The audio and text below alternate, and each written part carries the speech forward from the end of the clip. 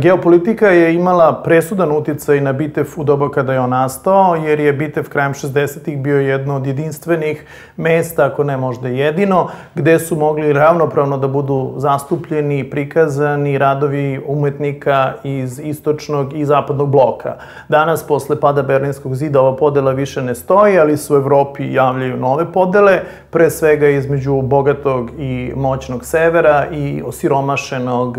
i poprilično bespomoćnog bespomoćnog juga. Srbija, Beograd kao predvorje Evropske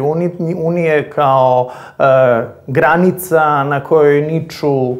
nove žičane ograde, takođe može da bude taj most ili kao što neko reče, prozor kroz žicu između e, dva sveta, da uspostavlja dijalog između onoga što je nasledđe, recimo, pokreta nesvrstanih, dakle tog nekadašnjeg trećeg sveta i ovog razvijenog zapadnog sveta. Interventna praksa Bitefa eh, je više struka. Dakle, Bitef u lokalnoj sredini promoviše neke od najradikalnijih, eh, najprovokativnijih eh, scenskih formi i tako ima i jednu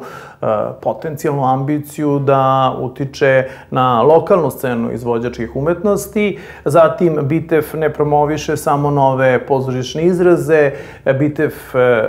ima i tu emancipatorsku funkciju da se bori za određene e, društvene probleme, društvene teme, da i pitanja pokreće od e, LGBT pitanja, za koja mislim da je Bitev e, kroz svoju istoriju dao jedan od najvećih doprinosa do recimo našeg aktivizma u pogledu tretiranja izbegličke krize prošle godine. I naravno i neka vrsta interventne prakse jeste i naša želja, ambicija da Bitev po povrati onu svoju izvornu misiju spajanja razdvojenih e, svetova.